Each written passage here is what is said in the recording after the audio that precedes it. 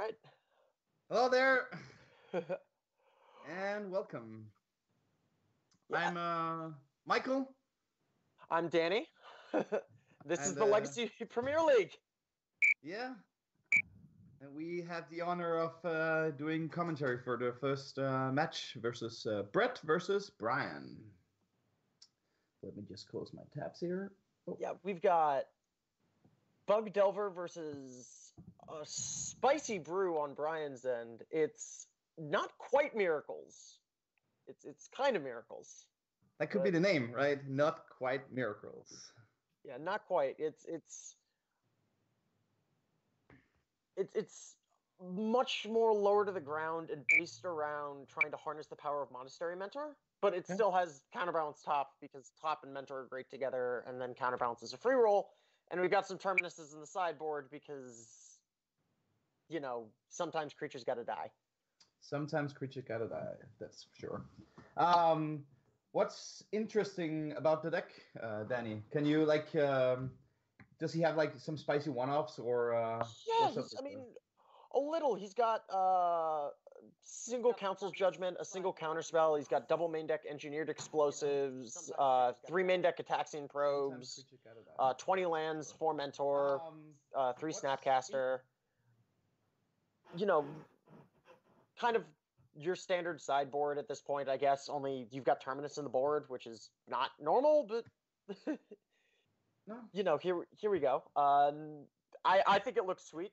Uh, yeah, there's this deck list for uh, Mr. Braun-Duin up on Yeah. your screen right now.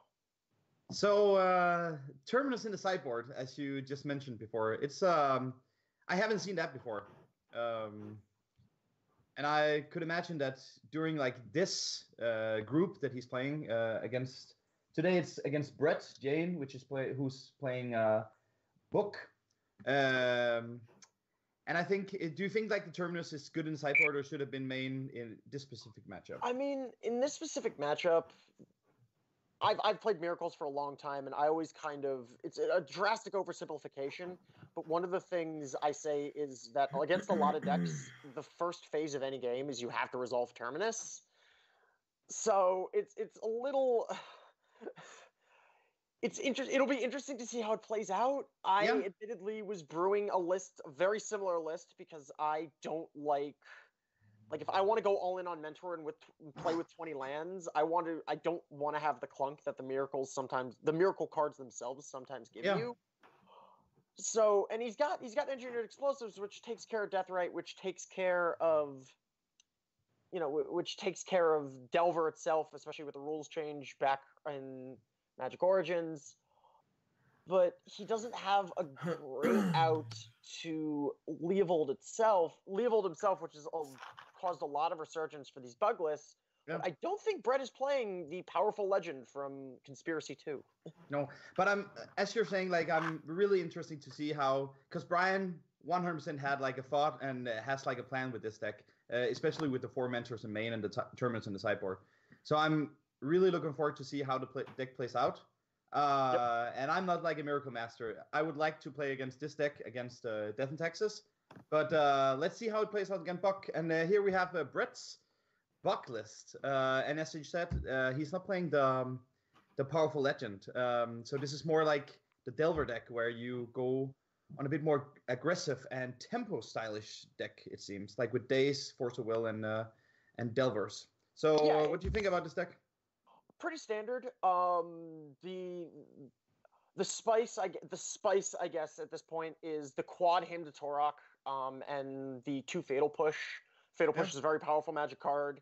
Indeed. Uh, you know, really, in addition to Leovold, has breathed some life into this bug archetype. I don't think it's as impactful as it is in other formats because of how good Abrupt Decay is in Legacy, just due to partially due to miracles. I'm not going to sit here and deny that that's a factor, but also Yeah. partially because of how mana efficient the format is. A lot of the threats are going to be three CMC or less, anyways, and it's nice to have your removal spell be uncounterable.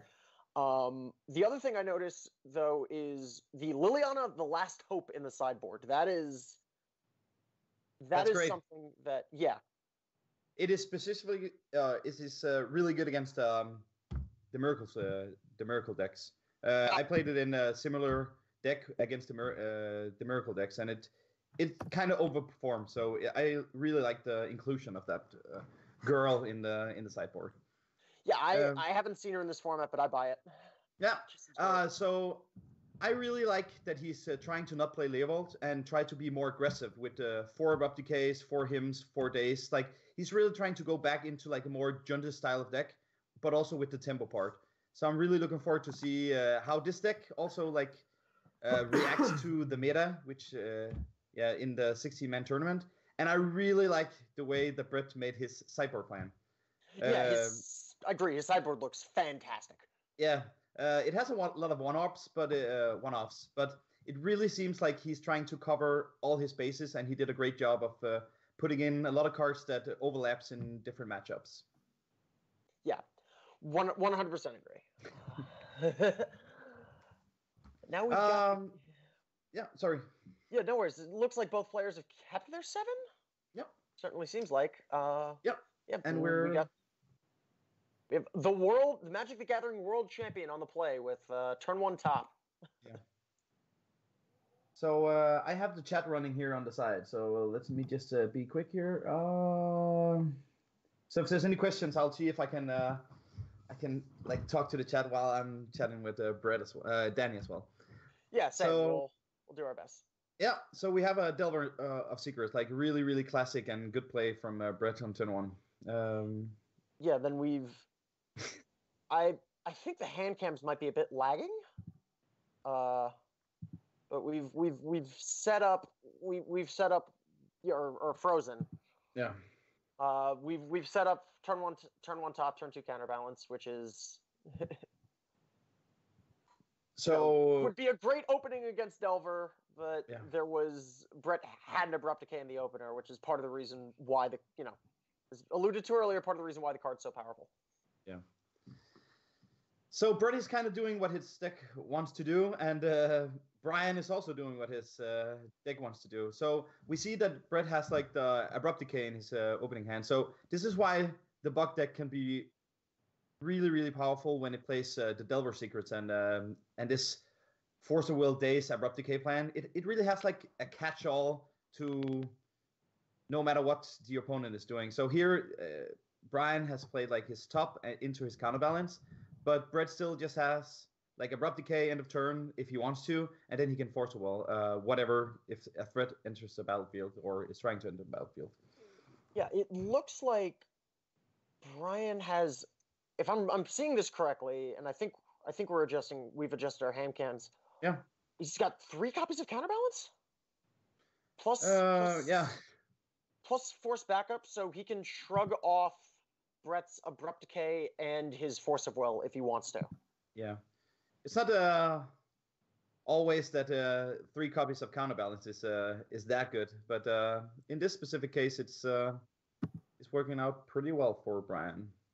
Yeah, I I I like Brett's heads up play by Brett here to decay before trying to force the Yeah. counterbalance, um, because it.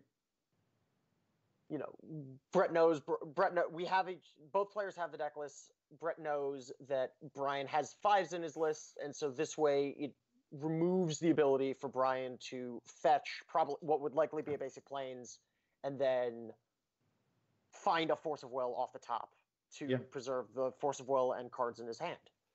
Indeed, and it also makes him like it looks like that Brian is gonna force here, uh, Yeah, which is uh, yeah. it- gonna have to fight. He's gonna pitch the third counterbalance. Yeah, um, and then we have a game with uh, almost no resources. That's what happens when you fight over these uh, different decks or these different cards.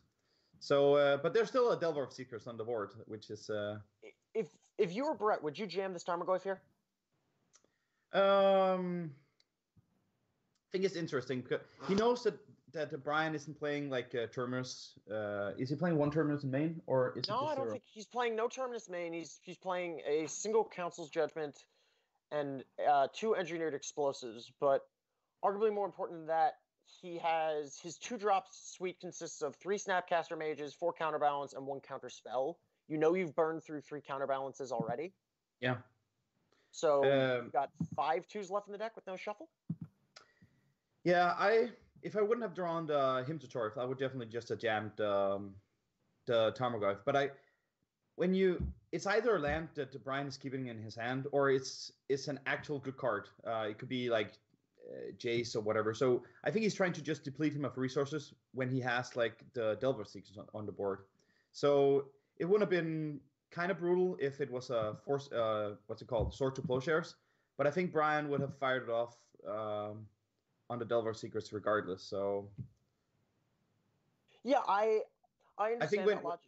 I yeah, think I'm sorry. personally more sorry. I'm personally more in favor of playing the Goyf there, uh, Yeah. just because I mean we obviously not knowing the hand, but we know Brett knows Brian doesn't have Terminus, so if he can sneak that Goyf through, Brian's going to have to have chain double removal spell to even try to get back in this game.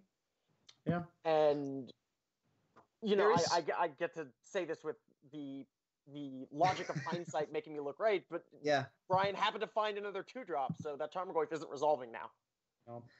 Um, yeah, the reason behind this, when you have the land in hand and you draw the Hymn to Tourach, you the Hymn to Tourach will be bad next turn, uh, probably because he's gonna play the card and then uh, he'll have zero cards for Hymn to Tourach. So this is actually the best spot to cast Hymn to Tourach uh, to get the last card in hand. Also, if you draw the the Abrupt Decay to kill the counterbalance next turn, you have a free pass for your Tarmogoyf. So, so I think there's uh, some different lines. I also see like just jamming the Tarmogoyf when he doesn't play uh, the Terminus would also be like really strong, because you you put a you kill him a turn faster. Yeah, I. It's But he had like i i in the end, it looks like he had like the fourth counterbalance. So even though he countered the Tarmogoyf, he's still in a bad spot here. I think Brian is Yeah, probably gonna top. definitely needs some help. He's at seven. He's he's got a top, so he's not he's never com- going to be completely out of it. Yeah. Uh, the top of his library does not seem like it's helping him though. From what I saw, it's a counterbalance and two tops. So Yeah. Brett likely is not going to get to resolve another spell, but it might not matter. No. Ooh, that's a pretty good draw as well. it is if it wasn't locked out. You know, it's it's a good draw from Brett, but at the bare minimum, it's locked out under counterbalance. We know, you know, Brett knows that Brian at least has ones covered. Uh, we know that Brian has ones and twos covered. You know, he also is likely to know that Brian. He knows that Brian kept the counterbalance on top, but it's the bare minimum that twos are covered. So, ah, That- so it's flooded. oh, inter- flooded strand was the third card. Okay. Yeah. So there's an interesting thing here. Like Brian, if he plays the furthest right now, he has to fetch like on his own turn. Yep. So there was nothing there. There's a scouting turn. So he can either fetch now on his own turn or wait. But I think he needs to fetch now. So let's see what he. Uh, yeah, he fetches now to see the next three cards, and then let's see if he can get an answer for uh, for the Delver. So this this is this is going to be a minor like technical new. Ooh. So there's monastery mentor. Does that count as an answer? Mean, No. yeah. It does not. Does not. You're correct. I think Uh, he he probes here. He draws. Yeah, but it, it doesn't really do anything. No. So this, I think this is he- going to be, yeah, Sorry. draw probe, play top, spin top. He digs in one deeper. Yeah. Yeah. Then he plays top. Now he's got a spin. As uh, Akash is uh, saying in the chat, like he can fetch now or scoop. Uh, He would have another uh, like draw step, and then if he got like a card there, but it kind of makes no sense to not see three cards instead of uh, one card. So now we're going to the sideboard. Yep. We're seeing here that Brian is putting in. Um, blood moons, blood moons, and disenchant for sure. Uh, is is what he's was what he's dragged to the forefront.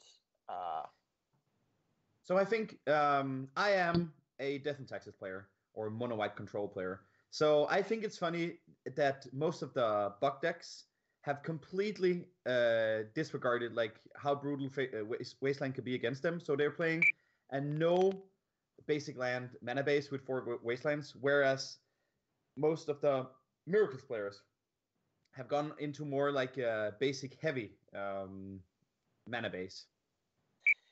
yeah, it's miracles players kind of have to do that. Well, because par- partially now with their cutting down to like 20 lands, you can't afford to get wastelanded out of the game. That's one of the biggest stumbling block is. Yeah. Um, but it's also you you're kind of have the liberty to cast your spells.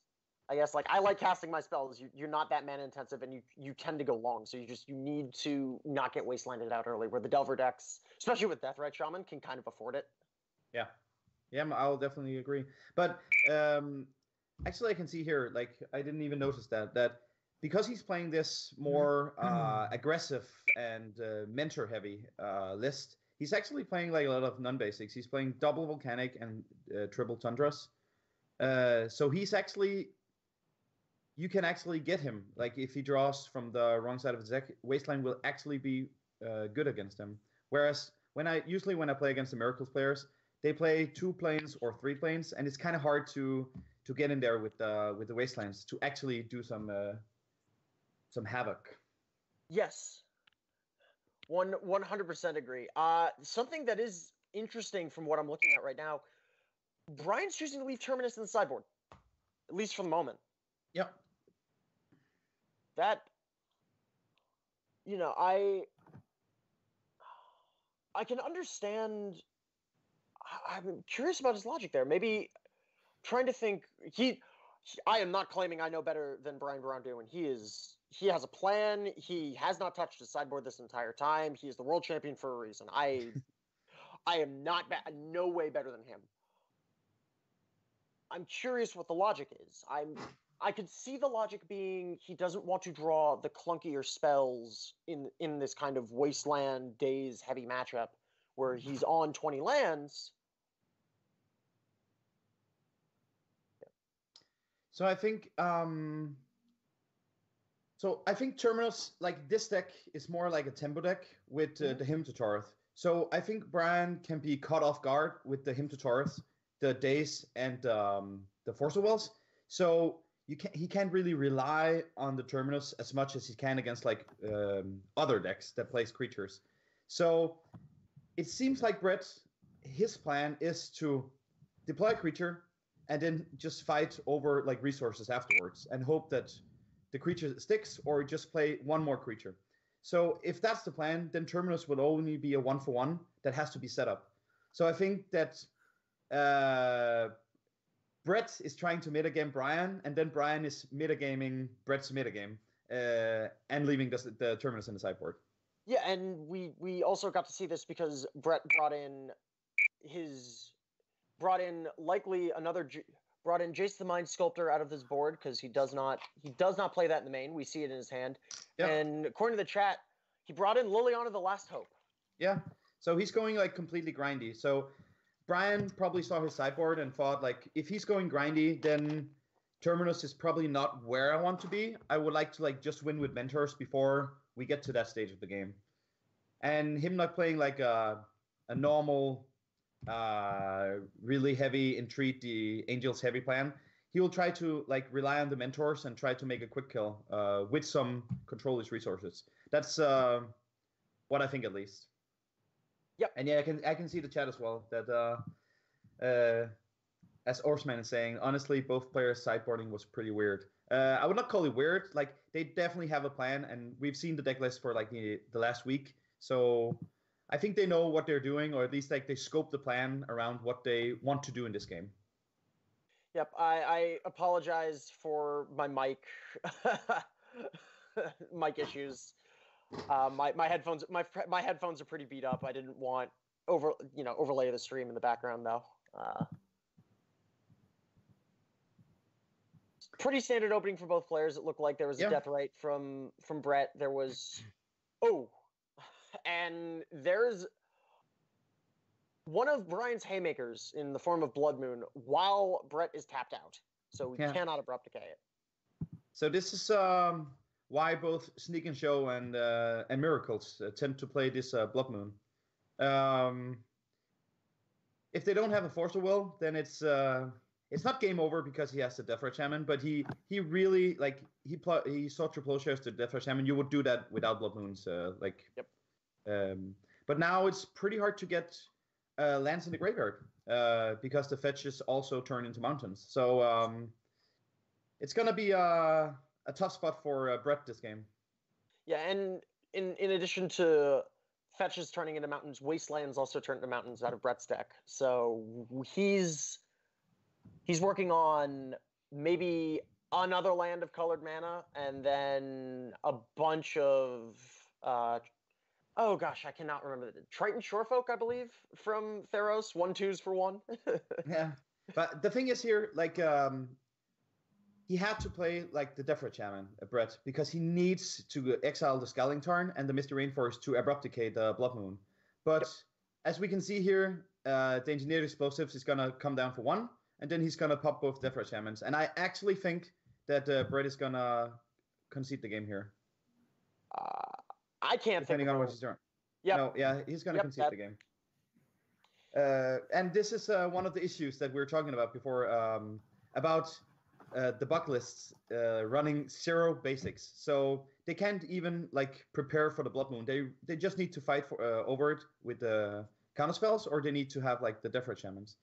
And as we can see here, he boarded out his Force of Will, so he's also, relying a lot on the Deathrite Shamans. That's for yeah. Sure. Also boarded also boarded out his dazes, which makes sense being on the draw, but when you don't have any interaction, Blood Moon's going to get you. Yeah. So, so uh, the Blood Moon here um, this also like the Blood Moon here really closes the game really really qu- quick, and maybe it is more like uh, Brian's plan in the in the matchup compared to uh, uh, the Terminus. Oh, he's boarding in Force of Wills again on the draw. Maybe he's think- no, I, maybe he's thinking that uh, Blood Moon is is just as so good that you need to fight even more over on turn three, and maybe Brett will board in like Force of Wills. Yeah, uh, for I don't mind when typically when I've played miracles in the past, or and I, I drawing a lot of that because that's similar. Up and just as I'm about to make this point, Brian's moving the forces back to his side and putting the Flusterstorms back in. Um, while being on the draw, it's sometimes nice to have a free counterspell when you're fighting over mana in the early game. But Brian decided that the extra card wasn't worth it, and the uh, pseudo uncounterable counterspell in Flusterstorm is is where he wants to be. And I can actually see the scooter uh, 222 says that he can float mana and then decay it. And it is 100% uh, true. Like he can keep up two mana on turn two. And then uh, if Brian goes, like when he's on the play, if he goes for Blood Moon, then he can decay it. And he can also like try and get it out of his hand like early with the Thoughtseizes. So, uh, but and speaking of speaking of Thoughtseizes, yeah. so let's see here. what, do you, what do uh, you take here? I would probably take the ponder. Yeah. It's either ponder or it's monastery mentor. Um, if you take monastery mentor, uh, you don't think you're gonna draw a removal for it, and you think it's gonna spiral out of hand on turn three. If you take the ponder, you're you think that uh, you have a better like the first four games, and then you will draw a removal before everything goes wrong. So he took the ponder. Um, so I think next turn he'll do Deathrite Shaman yep. and hope that he can snipe uh, a, a land with a wasteland. So let's see. Oh, I think I will play like a Death Shaman here and then Ponder or in the other. So probably Ponder. Okay, he's gonna pull a Delta. Yeah. So then he's. So if we're going to, okay, fetching. So I guess if we're fetching, if we're fetching Bayou, it's likely we're gonna maybe lead double Deathrite. Try to just get around Abrupt Decay yeah. early. Yeah. Or not Abrupt Decay. Excuse me. Uh, Blood Moon. Yes and he actually drew Blood Moon for uh, yes for the turn there.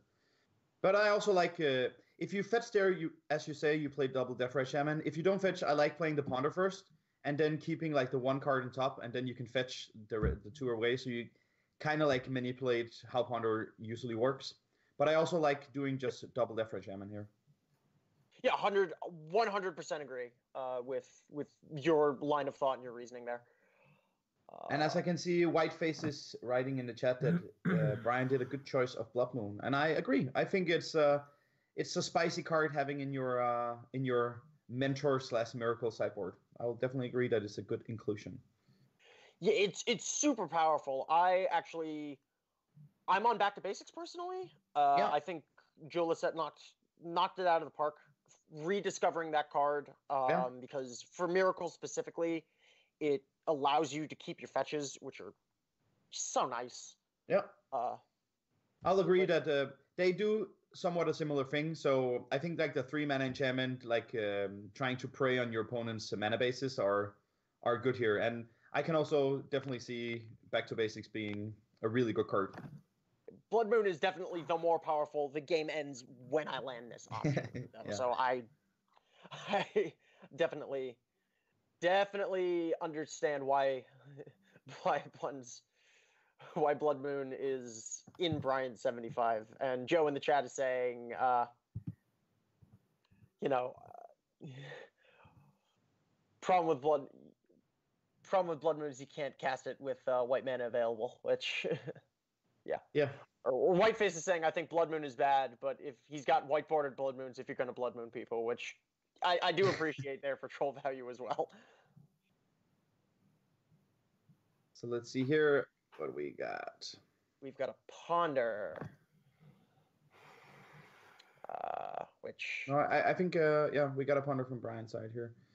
Yeah, which I think Brian is in the tank about on whether or not he wants to do either Flusterstorm or Pyroblast. And it looks well, he's getting red mana. A specific instance, yeah, that's fair.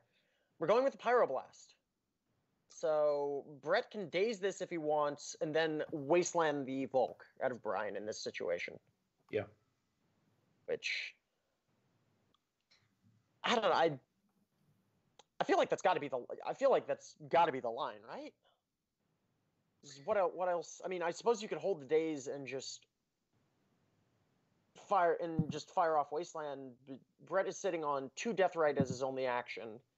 Uh, wants to try to find a way to close the game because, or at least a removal spell to find Brian's mentor. You know, deal with Brian's mentor. So he finds he finds some good ones. He finds Brainstorm, Deathrite, and Ponder. So yeah, so so he's probably gonna deploy the Delver here and then yep. uh, just Wasteland away as you foretold. Yeah, and um, he set up brainstorm. Ne- he set up brainstorm on top for next turn to be able to flip his Delver, and, yep. that's going to be quite the clock Brian is under. With you know maybe not enough time to get him out of it, especially considering he doesn't have his third land yet. He has a ponder. Yeah. So.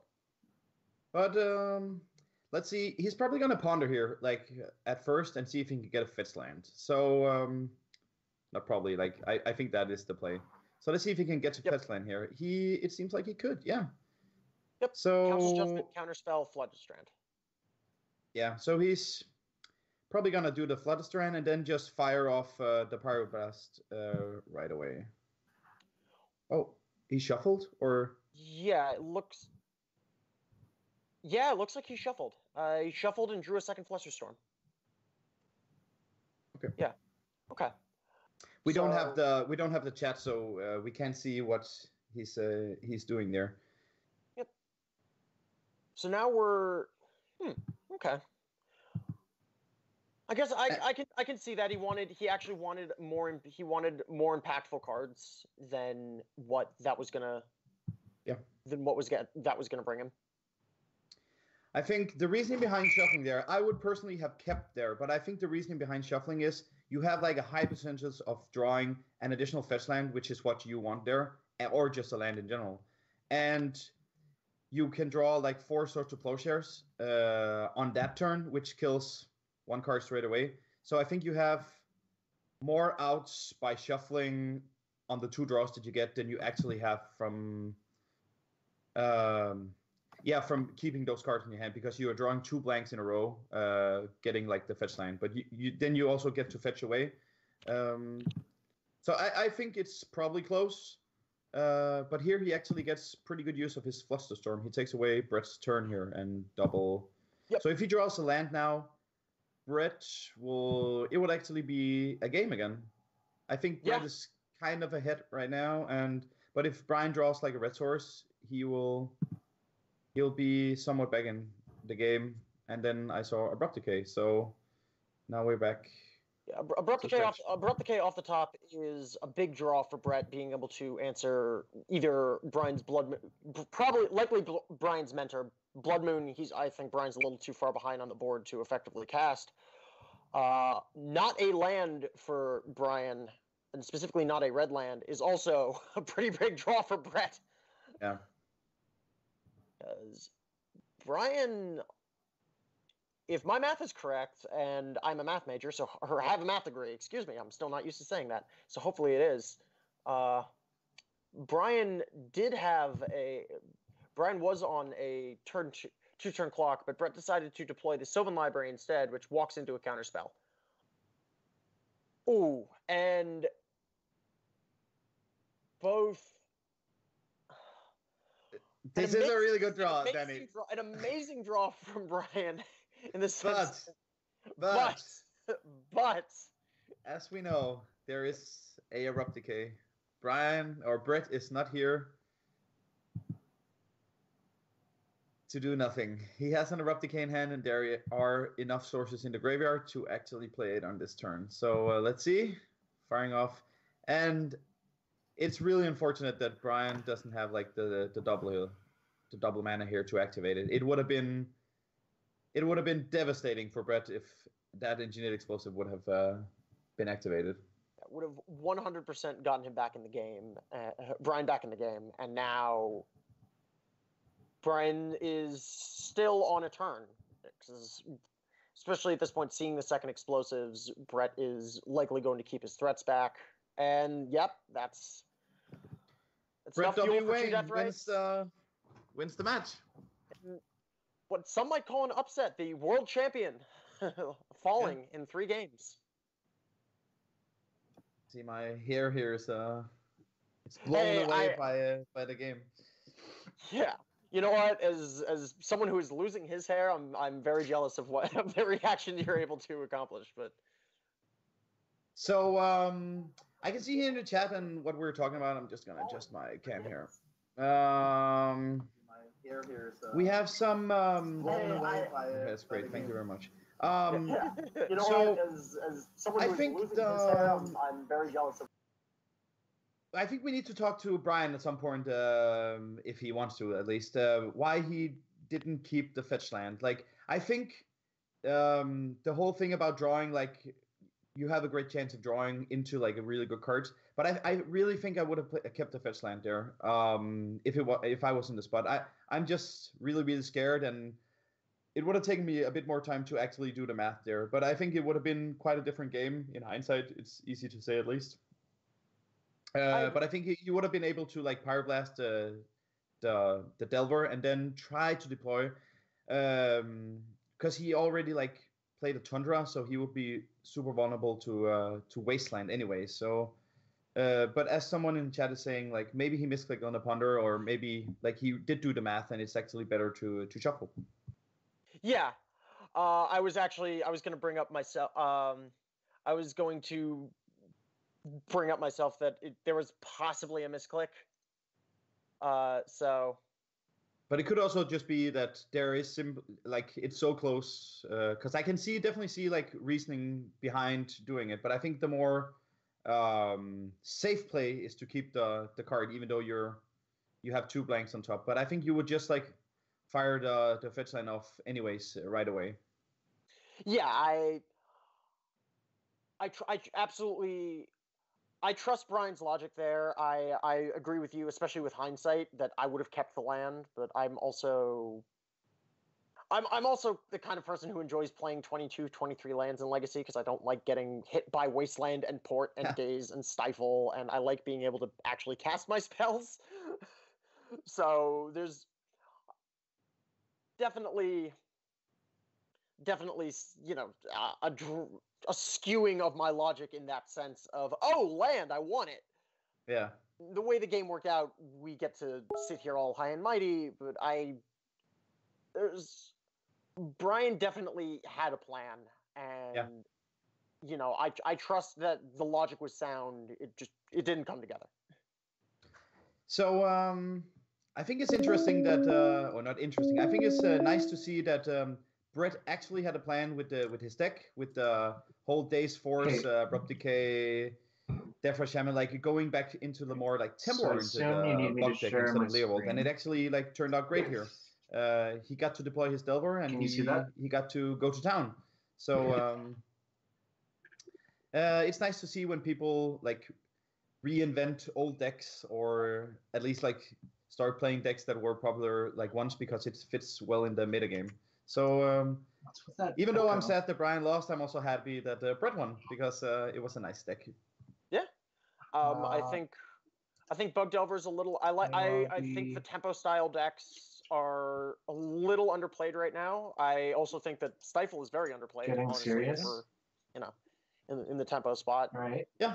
I'll so agree. it's good to good to good to see uh, it having some life in uh, the Legacy Premier League.